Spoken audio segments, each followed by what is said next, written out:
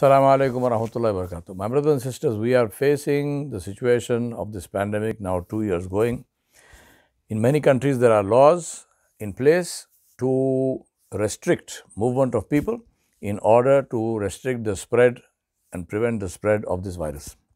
It is incumbent and fard on the Muslims to follow these laws because these laws refer to and they relate to the preservation of human life which is the fundamental principle in Islam after Tawheed, after not joining partners with Allah. The most important principle is the preservation of human life. That's why suicide is haram, that's why murder is the worst crime that anybody can commit. Preservation of human life is so important that even things which were normally haram become halal if it is required for preserving of human life. Rasulullah used to make the muezzin announce. When there was heavy rain he would announce and in the place of uh, in the adhan in the place of hayya salah the muezzin would say sallu fi buyutikum. Pray in your homes. The masjid is closed but don't come to the masjid. So pray in your home. Sallu fi buyutikum. This used to be announced and rasulullah did that for even for heavy rain.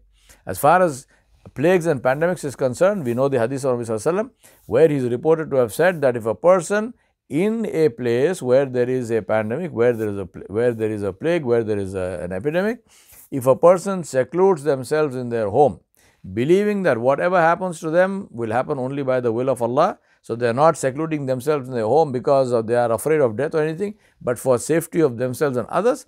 If a person secludes himself or herself in their home, they don't leave their home, and when the plague is past, these people are well, they have not been affected by the plague, Allah subhanahu wa ta'ala will still give them the reward of a martyr, give them the reward of shaheed.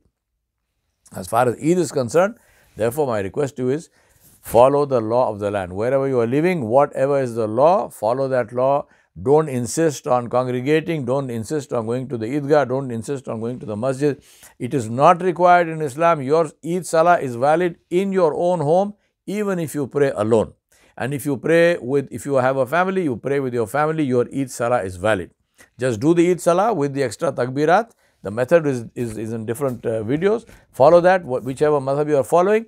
Pray Eid Salah in your home. Do not go to the masjid, do not go to the Eidgah, don't insist. In your country, if this is permitted, no problem. But if it is not permitted, follow the law of the land. Please understand that by our actions, it is our responsibility to make sure that no bad name comes to Islam and that we do not endanger anybody else. If we are doing that, then we are not only uh, breaking the law of the land, which is haram in Islam, but we will be answerable to Allah subhanahu wa ta'ala.